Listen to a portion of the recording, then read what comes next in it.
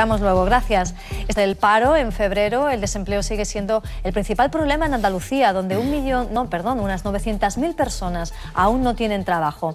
Aparte de la contratación pública, de la que también hemos hablado hoy, el motor en la creación de empleo son los empresarios. De la economía andaluza, de sus problemas y de sus retos, vamos a hablar hoy con Javier González de Lara, presidente de la CEA, la Confederación de Empresarios de Andalucía. Muy buenos días y muchas gracias por estar aquí con nosotros esta mañana. Buenos días, gracias a vosotros. Como siempre, un placer estar en Canal Sur. Muchas gracias. Vamos a empezar con la noticia de esta mañana, los datos del paro. En España ha bajado en más de 9.300 personas y en Andalucía ha subido en más de 2.300 personas. ¿Qué valoración hace? Bueno, yo creo que es pronto para hacer una valoración inmediata. Digo, son datos que hay que analizar con un poquito más de detenimiento, pero es verdad que eh, son datos que nunca son alentadores. Cada vez que hay subida de paro hay un drama familiar, hay miles de, de andaluces y andaluzas que están pasándolo mal. Yo creo que lo que hay que mm, buscar siempre es la serie histórica de todo el año, la anualidad completa, para, para, tener una visión un poquito más global. Yo creo que el año 2016 ha sido favorable, favorable a la, para, para, el empleo, en el sentido de que, hemos sido capaces de reducirlo en cerca de 75.000 los parados en Andalucía, pero, pero claro, hay meses como enero, febrero, incluso marzo, que suelen ser malos tradicionalmente para el empleo y esperemos, esperemos que como consecuencia del cierre de campaña de agricultura, del final de temporada también de Navidad, etcétera, pues, pues a partir de marzo eh, se vaya recuperando eh, la actividad económica a nivel de una generación de empleo neto más, más firme. Hay provincias donde ha bajado el paro, por ejemplo en Cádiz y en Huelva, en otras ha subido, como por ejemplo en Jaén, pero también es eh, llamativo que otra vez el paro en Andalucía no se comporta como el paro en la media de España.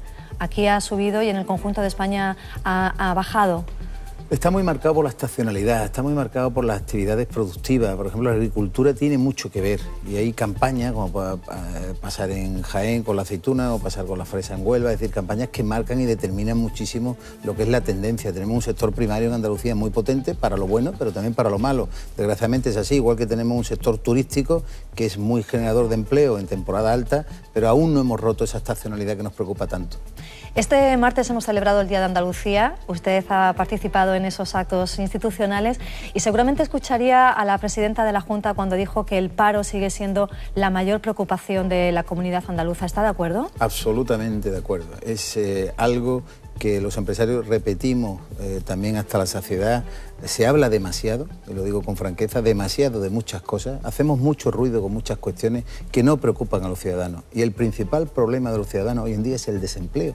Y no abordamos con la intensidad que debiéramos el problema eh, más grave que sufren nuestros conciudadanos. ¿Y en su opinión qué falla en Andalucía para que haya cerca de 900.000 desempleados? Bueno, tenemos una, una serie histórica, eh, digamos, negativa de desempleo. No somos una provincia que, haya, que se haya fomentado la cultura empresarial desde hace décadas y favorablemente en los últimos 20-25 años el crecimiento ha sido importante. Estamos ya casi en medio millón de pequeñas y medianas empresas en Andalucía, eh, también con muchísimos autónomos, pero necesitamos mayor actividad económica, mayor actividad empresarial y sobre todo que nuestras, eh, nuestras empresas sean mucho más competitivas. Yo creo que esto no es tan sencillo. Mm, hay un diferencial con otras comunidades muy amplio. Vamos reduciendo, reduciendo esa brecha con otros territorios, pero duda cabe que nos quedan todavía varias décadas para igualarnos a la media nacional. Usted habla siempre de tres premisas, más empresas, más dimensión y más densidad. Correcto, más empresas, decía, medio millón de empresas en Andalucía, pero medio millón, tenemos más empresas que Cataluña, tenemos más empresas que Cataluña. Sin embargo, ¿qué ocurre? Que el, el problema es el tamaño. Y el tamaño importa, el tamaño. Necesitamos que tengan mayor dimensión. ¿Por qué? Porque nueve de cada diez empresas no tienen eh, más de diez trabajadores. Y mmm, una de cada dos no tiene más de un, empleado. ¿Eso qué significa? Son pequeñas empresas, mmm, son micropymes. Eh, necesitamos que adquieran tamaño, dimensión, más talla, más volumen eh, y densidad. ¿Densidad a qué nos referimos? A número de empresas por cada mil habitantes. Estamos en Andalucía en 58 empresas por cada mil habitantes. La media nacional está en 69 empresas por cada mil habitantes. La única provincia andaluza que lo iguala es Málaga, pero el resto está por debajo. No puede ser. Tenemos que intentar que haya más empresas y para ello siempre propiciamos, siempre sugerimos generar ecosistemas más favorables a la inversión para que se permita la posibilidad de generar más empresas. Yo creo que con 100.000 empresas más en Andalucía. Esto es un sueño, pero un sueño, por ejemplo, para planificar a cuatro o seis años 100.000 empresas más en Andalucía, reduciríamos en medio millón el desempleo en nuestra comunidad y bajaríamos 10 puntos porcentuales el desempleo. Pero es una labor de los empresarios, de, los, de las pymes, es una labor de las administraciones de o todos. de los trabajadores. De todos todos, de toda la sociedad, de tener una cultura mm, proactiva a la generación de actividad económica, de llamarnos a los empresarios lo que somos, empresarios, no emprendedores, que, eh, que ahora de repente es una palabra que, que, inunda a la sociedad. Emprendedores, ¿qué ocurre? Que son eufemismos para sustituir una palabra tan importante como ser empresario o empresaria. Yo creo que es bueno que haya jóvenes emprendedores, pero no confundamos. Yo creo que la sociedad aún mira con cierto recelo la actividad empresarial, lo mira con ciertas connotaciones negativas. No hay nada más progresista, nada más eh, importante en la vida de las personas que tener un empleo, su propia dignidad a nivel de poder desarrollar su vida, su proyecto vital. Por lo tanto, hay que volcarse, hay que volcarse con quienes generamos ese empleo y esa actividad productiva. Yo creo que necesitamos, aunque se hacen muchas cosas y por parte de la Administración hay una actitud mucho más favorable a la actividad empresarial, eh, cambiar cosas, simplificar y si quiere podemos hablar de eso también. Sí, y también mm, sí, hay que simplificar un poco las, las eh, trabas o las, las trámites burocráticos ¿no? para crear empresas. Pero le quería preguntar eh, por las relaciones entre los agentes sociales, porque los sindicatos se quejan de que no se sientan a negociar los convenios colectivos. Hace unos días han empezado una campaña de movilizaciones para pedir que se sienten a negociar convenios colectivos. Bueno, esa es una estrategia eh, que obedece a un ámbito nacional y que es muy respetable. Y nosotros tenemos con los sindicatos una relación, eh, lógicamente, de, de, de desencuentro natural, porque defendemos intereses contrapuestos, pero de lealtad institucional institucional muy básica. Nos reunimos y hablamos muchísimo. Eh, fíjese un dato, en Andalucía en el año 2016 se suscribieron 700 convenios colectivos y a que no existe percepción de conflictividad social, 700 convenios colectivos. El sector privado hoy en día es menos eh, conflictivo que el sector público y tampoco se dice o no se comenta, eh, hay interlocución, hay diálogo social, hay voluntad de llegar a acuerdos. ¿Qué ocurre? Que hay momentos, como el de ahora, donde hay que renovar un acuerdo nacional eh, o interconfederal de negociación colectiva y donde nuestras patronales a nivel nacional tienen que centrar esa fase de ese gran acuerdo que ojalá sea para uno, dos o tres años. Y ahí existen las tensiones naturales, pero no existe bloqueo, de verdad, no existe voluntad de bloquear nada. Estamos siempre dispuestos a sentarnos con las centrales sindicales, con Comisión Obrera UGT, cuando sea necesario. Dentro de esa negociación de la patronal a nivel nacional, eh, creo que están barajando posibilidades de que los empresarios eh, se hagan cargo de menos días de mm, salario cuando haya una baja laboral y los sindicatos eso lo consideran un poco eh, como una declaración de guerra. Yo creo que eso son propuestas, no hay que hacerle mucho caso, son propuestas. Se está hablando de algo fundamental, que, que haya mayor productividad, vincular salario, incremento salarial a productividad. Se ha hablado de un 1,5% con otro 0,5% vinculado a productividad. A partir de ahí hay mucha literatura. Si me permite, le puedo decir que, que hay cosas que tampoco comparto. No siempre compartimos todos los criterios. Hay criterios donde a lo mejor en este momento de la negociación es bueno ponerlo encima de la mesa, pero luego cada parte sabe llegar al punto de equilibrio. Así ha sido en los últimos años. Se ha llegado a acuerdos en materia de diálogo social con las centrales sindicales muy positivos y viceversa. Y insisto, no existe la percepción de que mm, Andalucía, por ejemplo, incluso España, sea un, país con conflictividad laboral, eh, digamos, arraigada. ¿no? Somos capaces de entendernos con diferencias, con discusiones, con intereses antagónicos, pero lo logramos. Y sobre los salarios, porque también apuntan los sindicatos que se está remontando de la crisis, que hay empresas que empiezan a tener beneficios, pero eh, las condiciones laborales y los salarios de los empleados siguen siendo muy bajas. Es verdad que hemos sufrido todo muchísimo en estos ocho o nueve años de crisis. Han desaparecido en Andalucía el 10% de su tejido productivo, 54.000 pymes y autónomos han desaparecido y en consecuencia han arrastrado en su caída a, a miles de puestos de trabajo. Eh, pero también es verdad, también es verdad que eh, aunque estamos recuperando la actividad económica a un ritmo importante, eh, el crecimiento que es cierto, eh, en datos que conocemos, por ejemplo hoy del PIB, que ha crecido un 3,2% a nivel nacional, son datos muy, muy actuales, sin embargo, hay un 42% de las empresas españolas que tienen beneficios, solo un 42%. Por lo tanto, aún hay muchas pymes que están arrastrando procesos de desapalancamiento, de, donde había muchísimas deudas, donde habían problemas de reestructuración. Es decir, poco a poco vamos recuperando el ritmo. ¿Eso qué significa? Que claro que el empresario lo que quiere es mejorar el nivel de renta de los trabajadores, claro que quiere subir los sueldos y los salarios lo más posible, pero tiene que ser en base a las medidas, a la capacidad que tenga de mm, un horizonte con cierta garantía de continuidad. Hoy en día el empresario no tiene garantizada su actividad. Nadie puede decirle a un autónomo que va a tener dentro de dos años actividad mm, segura en su, en su, negocio, en su comercio al menor, en su eh, no sé, en cualquier actividad eh, hostelera o de cualquier otro tipo. Por lo tanto, mm, no hay una voluntad de eh, bloquear los incrementos salariales. La realidad es que venimos de una crisis profundísima, que lo hemos sufrido todos y entre todos tenemos que salir de ella, pero estaremos abiertos siempre a negociar, como digo, en esas bandas salariales que se están hablando, un uno y medio más eh, otro cero y medio posiblemente vinculado a la productividad. En cada sector, en cada mm, provincia, en el ámbito que se considere, estaremos abiertos. Ha mencionado los datos del PIB que se han conocido esta mañana. Ese crecimiento económico del 3,2% del conjunto de 2016 eh, se ha conseguido en gran parte gracias a las exportaciones. Y para hablar de exportaciones me gustaría que nos hiciera una reflexión sobre cómo pueden influir en las exportaciones las nuevas políticas de Estados Unidos con la llegada a la presidencia de Donald Trump y cómo puede influir también el Brexit, porque a finales de marzo se espera que inicie el Reino Unido ya ese proceso de desconexión de la Unión Europea. Bueno, cuestiones complejas. La primera, la importante, Andalucía en el año 2016 ha superado el récord histórico de exportación. Y eso se debe al esfuerzo de las empresas y de sus trabajadores. Eh, abrirse a los mercados, mm, superar los 200.000 eh, millones de euros, eso es una barbaridad, eso no se conoce. Eh, hace 25 años Andalucía no exportaba más de 1.000, 1.500 millones de euros. Eso significa que estamos en una, perdón, más de 10.000 millones de euros. Estamos en una situación mm, tremendamente de proyección, de apertura, de, de integración en los mercados internacionales. Eso dice mucho de estos años de crisis que fundamentalmente el sector agroalimentario, que es casi el 50-55% de nuestras exportaciones, que lo ha logrado. Y ahí hemos trabajado muy bien juntos, administración, lo que se extenda a nivel de Andalucía, con la Consejería de Economía, con los empresarios, las cámaras de comercio. Yo creo que ahí estamos funcionando.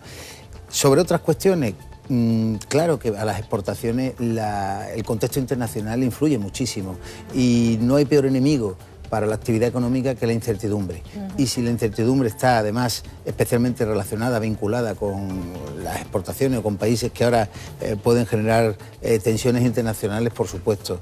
Respecto a Estados Unidos, mm, bueno, pues no nos, eh, no nos tranquiliza, hay que esperar, hay que esperar. De hecho, el, TTIP, lo que es el tratado este transfronterizo de, integración, donde íbamos a tener posibilidad de tener la Unión Europea con Estados Unidos, independientemente de, del contenido del propio, del propio tratado, que habrá quien le agrade más, le agrade menos, habría posibilidades de facilitar quitando aranceles ese comercio internacional. De repente se ha eliminado, de repente hay una voluntad de poner barreras, fronteras, muros. Eso no es bueno. ¿Usted está a favor del TTIP? Estoy a favor de quitar barreras de quitar barreras, de facilitar el mercado, eh, la libre eh, circulación de mercancías, transportes, capitales, personas. Eh, creo que en un mundo globalizado poner barreras es absurdo. Poner muros, inventar muros. voy a construir un muro en México, no sirve para nada. Es absurdo, la globalización no lo va a permitir ya. Es dar pasos atrás de una manera necesaria. El tratado, pues si hay cuestiones que no agradan, para eso existen los mecanismos internos de negociación para tratarlo en el ámbito social que corresponden. Para las empresas es bueno. Estamos hablando de exportaciones y de movimiento de mercancías. Y estamos viendo imágenes de, puerto. Quería preguntarle por el conflicto de los estibadores. Bueno, es un conflicto eh, preocupante, preocupante porque mm, puede afectar muy seriamente a la actividad productiva, a la actividad económica. El mero hecho de, el anuncio de, una huelga pues ya genera preocupación eh, en la actividad económica porque todo lo que es la estiva, desestiva en los puertos españoles, que son estratégicos en el Mediterráneo, en el Atlántico, bueno, pues nos generan lógicamente distorsiones. Dicho eso, eh, no es un conflicto social, ojo, eh, vamos a matizar, es un conflicto legal como consecuencia de la aplicación de una sentencia del 2014 del Tribunal Superior de Justicia de la Unión Europea. Mm, sentencia que, por cierto, sanciona a España por no cumplir con una normativa eh, comunitaria que habla de una liberalización del sector y donde puedan operar con mayor facilidad las empresas en el sector portuario y también la propia, los mecanismos de contratación de los trabajadores. Por lo tanto, es un conflicto de aplicación de una norma, de un decreto que acaba de aprobar el 24 de febrero el Gobierno de la Nación. Con razón, sin razón, pero mm, después de bueno, 21 millones de euros de multa de la Unión Europea, más otros 130.000 euros que nos van a poner como consecuencia de la aplicación de la norma. ¿Por qué hago este preámbulo? Porque es bueno que también los espectadores sepan que no es un conflicto consecuencia de la falta de entendimiento entre empresarios y trabajadores, de la falta de entendimiento por la inaplicación de un convenio colectivo, porque no se garantizan los derechos laborales de esos trabajadores. No, es por la aplicación de un decreto, que a su vez es transposición de una sentencia del Tribunal Superior de Justicia de Europa y de una directiva europea. ¿Qué ocurre? Que el mecanismo, la paradoja cuál es, que el mecanismo precisamente de regulación del problema va a ser precisamente la negociación colectiva, precisamente el acuerdo entre empresarios y trabajadores para que lleguemos a una solución pacífica. Muy brevemente, ¿usted piensa que se va a llegar a un acuerdo o no? Yo estoy confiado, absolutamente confiado. De todas maneras, un tiempo prudencial para, para, negociar. Ahí eh, se ha abierto una mesa de negociación, tanto empresarios como sindicatos están eh, sentados, insisto, no como consecuencia del conflicto laboral, sino como consecuencia del conflicto legal, para ver cómo ajustar vía convenios colectivos esa normativa, aplicarla y que sea lo más digerible y que garantice los derechos de los trabajadores. Nadie quiere quitarle los derechos a los trabajadores. Lo que sí se pretende es abrir eh, en, el, sistema, digamos, de estiva eh, nacional pues, la posibilidad que otras empresas europeas se puedan instalar. Es lo que nos dice la Unión. Muy bien, estamos ya llegando al final de esta entrevista. El turismo es muy importante en Andalucía y esta semana se ha conocido una oferta turística muy peculiar. En el año que viene, en el 2018, se va a hacer el primer viaje a la Luna, un viaje turístico de una pareja que va a estar una semana orbitando alrededor de la Luna. ¿Usted haría ese viaje? Yo estaría encantado de hacerlo, por supuesto que ¿De sí. negocio en ese proyecto Muchísimo. turístico? Eh, vamos, el turismo, el turismo es el sector eh, o la industria, yo creo, más importante, más innovadora, está en evolución permanente. Yo le llamo la industria de la paz porque necesita un contexto de, comodidad donde al final el visitante quiere vivir experiencias. Ya no basta, ya tenemos, hablaba de la globalización antes, ¿no? Todavía hay personas que quieren poner barreras y muros. Es que se equivocan, si es que hoy es imposible, si hoy con un smartphone somos capaces de hacer una reserva en un hotel en Dubái o de ir a cualquier sitio del mundo y sacar un billete de avión. Por lo tanto, pues habrá eh, empresas que operen para hacer viajes, viajes espaciales y, lo veremos en una década seguramente. ¿Qué le hacía usted más de, la marina? ¿Le hacía más de, la, orilla del mar y le hacía más de eh, observador de, la luna desde, desde, la orilla del mar? Porque sé que a usted le encanta hacer la pintura de, marinas. Así es. Es un profesional. Tenemos aquí unos cuadros que ha dibujado usted. Son eh, cuadros que hemos recuperado de una exposición que hizo en el 2011 en una galería de Málaga Málaga, Benedito. Em, ¿Cómo le llegó esa afición por la pintura? Bueno, eso eh, hay que sintetizarlo porque es una experiencia vital. Desde que era muy joven empecé a pintar y eso te llama mucho, eh, te llena por dentro y al final quieres expresar también tu, tu parte, como digo, más emocional, tu hemisferio izquierdo del cerebro, ¿no? Quieres desarrollar una actividad artística que te sirve, te sirve también pues para, para bueno, eh, disfrutar de la vida. La vida tiene muchos perfiles y la verdad que la pintura, todo lo que está relacionado con temas de litoral, escenas de puerto, de costa, de playa, me apasiona. O sea que una sorpresa verlo aquí, lo cual es una, una alegría eh, verme y ¿Tiene alguna exposición en ciernes ahora o no? Estamos trabajando en ello, lo que ocurre es que estamos también muy ocupados y necesita uno un poco más de tiempo, pero la próxima os os, avisaré. Seguro que muchos espectadores han quedado sorprendidos con esta faceta del presidente de la CEA, de la Confederación de Empresarios Andaluces, porque como usted decía, la realidad tiene muchas aristas y las personas también. Sí, seguro. todo el mundo tiene unos perfiles poliédricos que además son atractivos. Al final tenemos que ser, en fin, eh, personas de nuestro tiempo, de nuestro mundo y, hay muchas cosas y muchos andaluces que hacen cosas extraordinarias andaluzas, ¿no? Que nos sorprenden. Hace unos días, precisamente en la entrega de las medallas, hemos visto los méritos de muchísimas, eh, en fin, eh, andaluces de, nuestra tierra que son de verdad admirables. Javier González de Lara, presidente de la CEA.